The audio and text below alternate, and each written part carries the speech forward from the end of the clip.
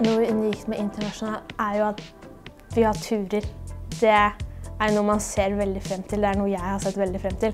We are located right in the middle of Oslo, so we really try to use the city as much as we can. We have all these great museums and all these great things around that we can go to. Vi drar jo et sted hver uke som er skikkelig digg. Det er en veldig variert hverdag, så jeg liker det veldig godt. Nå om noen uker skal vi til Spania og ha en sånn eh,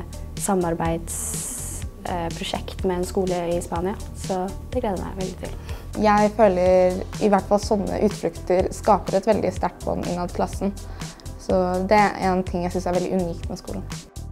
I think most people are familiar with like kontaktlærer uh, as something. We don't call it that, we call it mentor instead. Du får ha sånn egne samtaler med dem i hvordan det går, men også at de legger opp timeplanen veldig for hver enkelt person.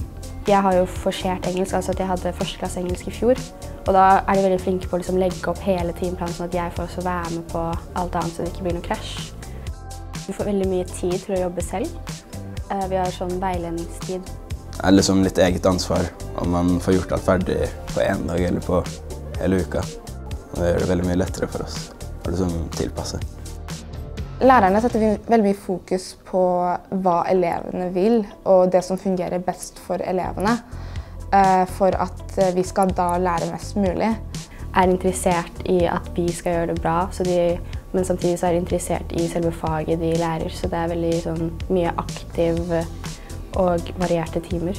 I think it's really interesting and fun. And, you know, if you're really curious about the world and how things are, then I think it's the perfect line.